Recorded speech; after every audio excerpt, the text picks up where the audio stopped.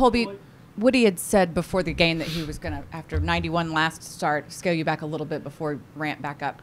Did you kind of have that in the back of your mind that you wanted to be as efficient as possible?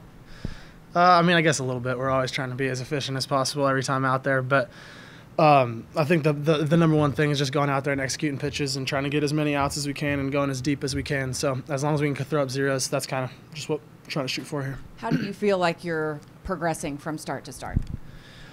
Uh, you know, good. I think I just uh, continue to go back out there, continue to get more comfortable. You know, continuing to get five, six, hopefully, you know, in the future, seven, eight up downs. You know, so just obviously didn't didn't all the way build up in spring training. So trying to you know do it a little bit now, and I think uh, yeah, good. Just continue to go out there and try to, like you said, you know, build up the pitches until we can get all the way built up there.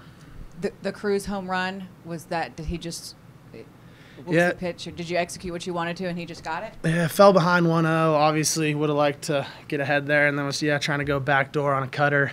And I mean, it wasn't a horrible pitch, but I mean, obviously caught a little bit of too much of the plate, and you know, sometimes really good hitters are going to make you pay. So, got to tip your cap, I guess. Thanks, Cole. Evan. Hey, Kolby, um, you may be onto something with this whole idea of throwing lots of strikes. Uh, I've noticed you've done that a lot more for the four starts. What has been the secret to your strike throwing ability here? Um, you know, yeah, I think I think that's honestly something that is not stressed enough just all the time as strikes. You know, I think when you're ahead of guys, you know, it's a lot easier to pitch than when you're behind guys.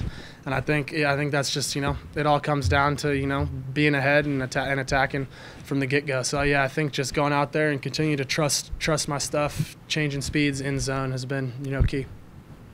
So did, did you make any kind of adjustment or, I mean, how did you get to a point where you, where you're more confident, I guess, just attacking strikes? Um, yeah, I guess just keep, continue to go back out there and do it and do it and do it. You know, I think, uh, um, you know, I've always kind of had that belief, uh, even with even you know with how last year went. You know, just going out there and if you if you attack guys, you know, mix mix speeds, you know, in out up down. You know, you can go out there and have some success. So I think I'm just trying to take that mentality and you know continue to run with it. Thank you, Kolby. Other questions for Kolby? Anything else? Okay, we'll bring in Woody and John King next.